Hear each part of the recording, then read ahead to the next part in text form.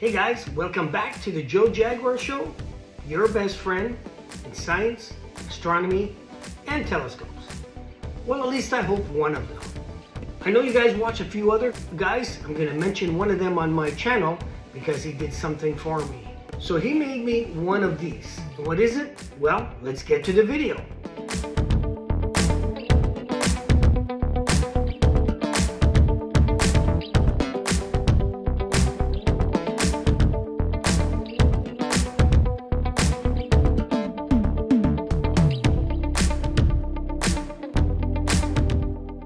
Okay, so my friend, John, who used to be called the Reflactor Channel, however, he changed his name and it's now called Astro Garage with Reflactor.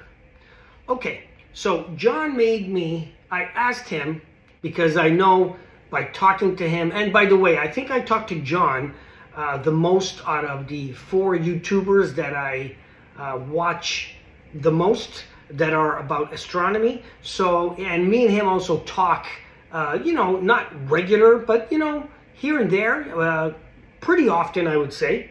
So I know he has a 3D printer, and he actually made me two of these. Now, when it comes to 3D printing or kind of like apps and the latest technology, maybe to some of you guys that, you know, it's very easy, but for me, I have no idea. So on the internet, uh, there's kind of like a link to one of these. Uh, this is for your star sense. So the traditional star sense, uh, the app, you know, obviously looks like this. I got this one with uh, magnets and rubber at the feet because before I had three 12 inch uh, Dobsonians uh, my latest one is the Skywatcher Flex 2. Before that was the Meade Lightbridge Antares 12 inch. Now, the first two always had like balancing issues and that type of thing. So the Flex Tube, eh, I think, uh, doesn't. But uh, anyway, so all three of them, what I did is actually, uh, I drilled three holes. Even the Skywatcher Heritage that I take on an airplane for traveling, I've drilled three holes and with three nut and bolts and that's how I mounted them on. So this obviously will screw on and it won't because it's rubber but it's very strong magnets. They have a couple different versions of how str strong you want your magnet but uh, basically now this will go on your telescope. It sticks, it's not going to fall. It's better than uh, zip tying it or Velcro. This is really good. So again, I'll put the link up. Uh, you can get them from Amazon. It comes in a set of four. You're only going to need three. Now, what I have noticed, let's finish talking about these feet, um, that it only works on my Skywatcher Heritage and my 12-inch Dob uh, because they're made out of steel.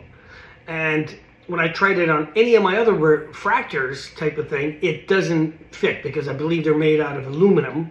That's what I think. It does not stick at all. Then it led me to look at how can I adapt this guy and you know on a Dobson I don't mind putting a couple little holes and then I put some electrical tape to cover the holes after but I'm not going to do that on a very expensive refractors so I know this has been out for a while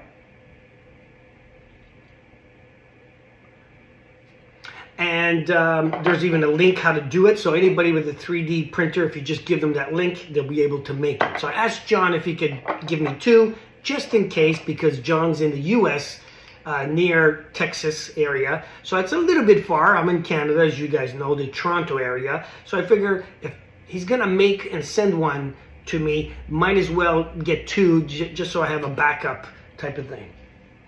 So how this works, just to show you, put it on a refractor. If you look in between, see those two screws over here and the other side, and I think you could just see one right in between the two. Uh, there you go, that little hole there. So you match them up with these three holes, and with, you know, once you screw it on, it's gonna look like this. And then after you put that top part so it's going to look like that. And then this can go on any refractor or even like a reflecting telescope, an EQ mounted one, you know, whatever. Anything that has a Vixen shoe. So, for instance, I didn't want to bring all my telescopes here, but if you have any type of refractor, let's say, that has just the Vixen shoe, this fits perfect. There you go. And then you just this uh, lock the thumb screw down. I tried it on my Skywatcher ED. It fits there too. This is the Askar, as you guys know. It. Let me just twist this down so you guys can see. There you go. So the Askar has two parts. You could have a regular finder, traditional right angle finder, straight through finder. Then you could have this. You could have a red dot finder, you know, whatever type of finder. So you have two different things. But anyway, it fits perfect. Um, so anything that has a Vixen dovetail or finder bracket will fit this. Now, if you have a telescope that has one of these rails on top, a lot of those guiders, uh, you know, it also fits perfect. Use one of these screws and then there you go. This will be then on top like that. Okay, so just wanted to show you guys that. So I appreciate it. I don't know if John, if you guys do watch John's uh, channel, a little bit about John. Obviously, he does reviews like I do, uh, some comparisons, you know, and that type of thing. Uh, and you guys know that I do a, a, some tweaking, some building, you know, nothing super advanced, but I, have built, uh, I rebuilt like a Dobson base. I made them shorter. Uh, you know, I've done different things, balancing stuff. Uh, but John, I think, takes it to another level, and he does, like I would say, semi-pro type of tinkering. So I don't do to that level tinkering, but John does a lot of that. So if you guys want to check out John, check out his channel. And I just wanted to give him a thumbs up for making me these. Otherwise, because I'm not on the forums, I probably wouldn't know, and I don't know anybody with a um, 3D printer. I have to probably pay a company to do it, and it's just more headaches. So appreciate you, John, making these for me. Now, if you guys know John and you're on his channel, I guess you could ask. I don't know if he's gonna make it for everybody that asks, but uh, and how much he would charge for one of these um, type of thing. I don't know. But you can talk to him and see if you guys come to an agreement and at least pay the shipping. And maybe he might charge you 15 bucks or 20 bucks for one of these plus the shipping. I don't know. Again, talk to him. So that's it. Just wanted to show you guys this. So I got two of these made. So it's going to go for my Star Sense. I already have it set for you know, my two Dobsons, my Heritage 150, which is my travel on the airplane one, and, you know, my 12 inch uh, where I go to my Bortle 2 zone, or the gray zone, and now I can put this on my refractors if I need to. Comment and subscribe.